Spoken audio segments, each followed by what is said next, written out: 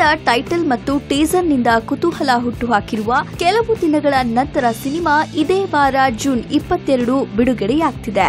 ಶುಭ Poonja, comedy ಕಿಲಾಡಿಗಳು ಲೋಕೇಶ್ ಸೇರಿದಂತೆ ಹಲವು ಯುವ ಪ್ರತಿಭೆಗಳು ಈ ಚಿತ್ರದಲ್ಲಿ ಅಭಿನಯಿಸುತ್ತಾರೆ. ಇಂದಿನ ಯುವ ಜನತೆಯ ಸಮಸ್ಯೆಗಳ ಕುರಿತು ತಯಾರಾಗಿರುವ ಸಸ್ಪೆನ್ಸ್ ಹಾರರ್ ಸಿನಿಮಾ ಇದಾಗಿದ್ದು ಎರಡು ಸಾವಿರದ ಹದಿನಾರರಲ್ಲಿ ನಡೆದಿದ್ದ ನೈಜ ಘಟನೆಯನ್ನ ಆಧರಿಸಿದ ಕಥೆಯನ್ನ ಹೊಂದಿದ್ಯಂತೆ.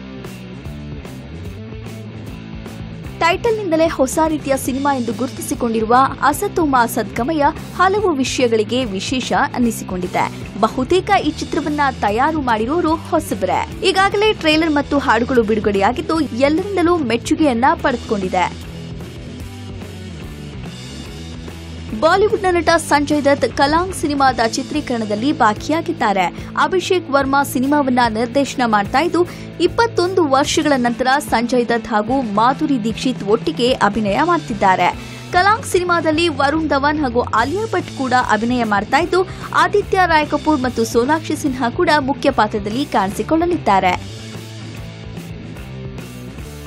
ಸಾವಿರದ ಒಂಬೈನೂರ ಎಪ್ಪತ್ಮೂರರಲ್ಲಿ ರಿಲೀಸ್ ಆಗಿದ್ದ ಸಾಹಸ ಸಿಂಹ ಡಾಕ್ಟರ್ ವಿಷ್ಣುವರ್ಧನ್ ನಾಯಕರಾಗಿ ಅಭಿನಯಿಸಿದ್ದ ಅವರ ಮೊದಲ ಸಿನಿಮಾ ನಾಗರಹಾವು ಮತ್ತೆ ತೆರೆ ಕಾಣ್ತಿದೆ. ಆ ಕಾಲದ ಸೂಪರ್ ಹಿಟ್ ಸಿನಿಮಾ ಇದೀಗ ಡಿಜಿಟಲ್ ವರ್ಷನ್ನಲ್ಲಿ ರೀ ರಿಲೀಸ್ ಆಗಲು ಸಿದ್ಧವಾಗ್ತಿದೆ. ಇಪ್ಪತ್ತೆರಡನೇ ತಾರೀಕು ಶುಕ್ರವಾರ ಹೊಸ ನಾಗರಹಾವು ಚಿತ್ರದ ಟೀಸರ್ ಕೂಡ ಬಿಡುಗಡೆಯಾಗಲಿದ್ದು, ಕನ್ನಡದ ದೊಡ್ಡ ನಟರೊಬ್ಬರು ಈ ಚಿತ್ರದ ಟ್ರೇಲರ್ ಅನ್ನ ಬಿಡುಗಡೆ ಮಾಡಲಿದ್ದಾರಂತೆ.